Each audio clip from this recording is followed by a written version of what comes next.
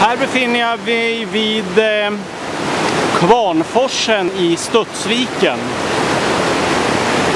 Gideälv i Örnsköldsviks kommun.